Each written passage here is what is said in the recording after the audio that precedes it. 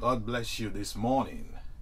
My name is Solomon Araboto. I'm the pastor of the Christian Community Church in Arklow, County Wicklow in Ireland. Today is the 1st of March, 2001. 2003 that the Lord Himself will visit you supernaturally.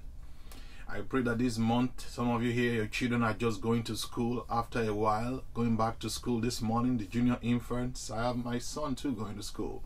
I pray for protection over all our children. I pray for protection over the teachers and the schools. I pray that everything will go well for them. I want you to know that God is watching over you, is watching over your children, is watching over your household. I decree and I declare that the face of God will shine upon you to shine upon your family and every member of your household in the name of Jesus.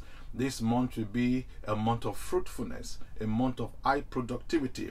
You will make satisfactory progress in this month in the name of Jesus. I pray that whatever you lay your hands upon shall prosper in Jesus' name.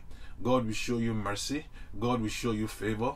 God will show you His goodness in the name of Jesus. I decree and I declare that everywhere you turn, good things will happen to you. I want you to know that this week, something good will happen to you, will happen to your children, will happen to your household in the name of Jesus.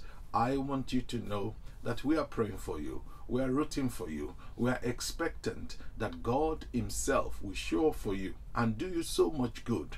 Let us know how much of God's goodness you experience this month. I'm Solomon Araboto. I'm the pastor of the Christian Community Church in Arklow, County Wicklow, saying to you, this month of March, you will march forward. It's going to be a month of glorious blessings. It's going to be a month of good health. It's going to be a month of God's goodness. And it's going to be a month of divine empowerment for you. In Jesus' precious name. Say amen with me if you believe that. Please share this with your friends. Let your families and friends know that we're praying for them. It's going to be an amazing month. It's going to be a month that will be uplifting. In Jesus' precious name.